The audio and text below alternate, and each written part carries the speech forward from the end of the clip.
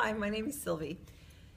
We are very, very thankful that we had the opportunity to be here today with you during the College Prep Genius class. This has been amazing. In the past, my son, who's now 16, has taken the DVD course and read the books and done things like that through Jean Burk. However, being here today in the class has taken it one step higher.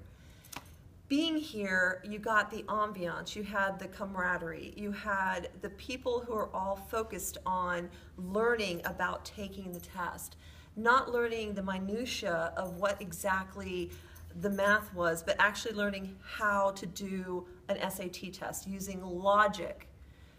This has been a fantastic time um, I chose to come here to listen in with my son because I've heard the information on the DVD course. I've seen the test books that he's had. But being here during the classroom setting and learning about taking this test, again, has taken it one step further. Our instructor today, thank you so much, sir, has been wonderful because he incorporated not just the information in the test booklet, but he also incorporated real life the reason, the purpose, the goals. Why are we here studying for the SAT? How does this affect your future? That to me was invaluable.